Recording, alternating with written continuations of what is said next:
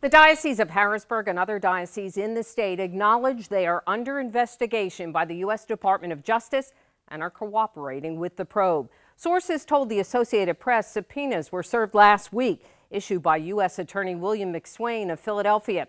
He wants to know if clergy committed any federal crimes. He demanded secret archives documents and any evidence that anyone in the church took children across state lines for illicit purposes, sent sexual images or messages by phone or computer, instructed anyone not to call police, reassigned suspected predators, or used any money as part of a cover up. A state grand jury report made public August 14th found 301 predator priests abused more than a thousand children, and the church leaders covered it up. Susan Shapiro, WGAL News 8.